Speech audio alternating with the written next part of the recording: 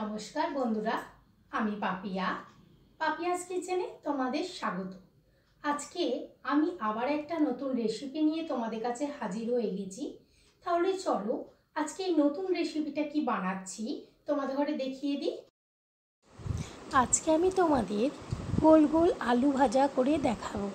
তাহলে চলো, এই গোল আলু ভাজা কেমনভাবে আমি বানাই তোমাদের ঘরে দেখিয়ে দিই। দেখো, দুটো মাঝারি সাইজের আলু খোসাগুলো ছাড়িয়ে নিয়ে আমি এরকম মোটা মোটা একটু গোল গোল করে কেটে নিয়েছি। তোমরা দেখতেই পাচ্ছ কেমন মোটা করে কেটেছি।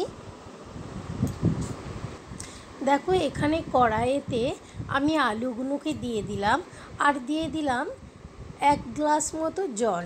আলুটা শুধু সেদ্ধ করার জন্য তোমরা পরিমাণ মতো জলটা দেবে। দিয়ে দিলাম হাফ চা চামচ মতো নুন আর হাফ চা চামচ মতো হলুদ গুঁড়ো। একটু নেড়ে দিচ্ছি। নেড়ে দেবার পরে গ্যাসের ফ্লেমটা হাই রেখে আমি প্রথমে ফুটিয়ে নেব। ফুটে গেলে গ্যাসের ফ্লেমটা লোয়ে রেখে আলুগুলোকে সেদ্ধ করে নেব। দেখো আলুগুলো কিন্তু সেদ্ধ হয়ে গেছে। খুব একবারে সেদ্ধ করে ফেলবে না, তাহলে কিন্তু ভাজতে গেলে ভেঙে যাবে। দেখো আলুগুলো সেদ্ধ হয়ে গেছে। এবার আমি আলুগুলোকে নাবিয়ে নেব। আলুগুলোকে নাবিয়ে নিয়েছি, কড়াইটা আমি ধুয়ে নিয়ে আবার বসিয়ে দিয়েছি গ্যাসে। এবার আমি এখানে দিয়ে দিলাম তিন টেবিল চামচ মতো সর্ষের তেল। তেলটাকে আমি একটু গরম করে নিচ্ছি। তেলটা গরম হয়ে গেছে, এখানে দিয়ে দিলাম এক চা চামচ মতো পাঁচ ফোড়ন আর দিয়ে দিলাম দুটো শুকনো লঙ্কা। শুকনো লঙ্কাটা আমি মধ্যখান দিয়ে ফাটিয়ে দিয়েছিলাম। তিরিশ থেকে চল্লিশ সেকেন্ড মতো একটু ভেজেও নিয়েছি।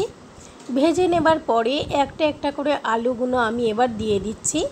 নুন, হলুদ যেহেতু দেওয়া ছিল, নুনের পরিমাণটা যদি কম লাগে তোমাদের, তোমরা একটু নুন দিয়ে দিতে পারো ভাজার সময় ওপর দিয়ে।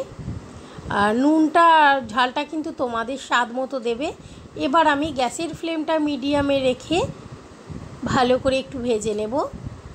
দেখো, এগুলো ভাজা হয়ে গেছে। আমি আর যে বাকি আছে আলুগুলো, আমি ওইগুলোকে একইভাবে ভেজে নেব।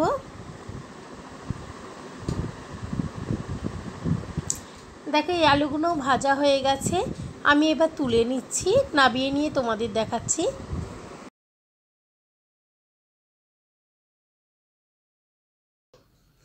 আজকে এই রেসিপিটা যদি তোমাদের ভালো লেগে থাকে, অবশ্যই লাইক কমেন্ট শেয়ার করবে।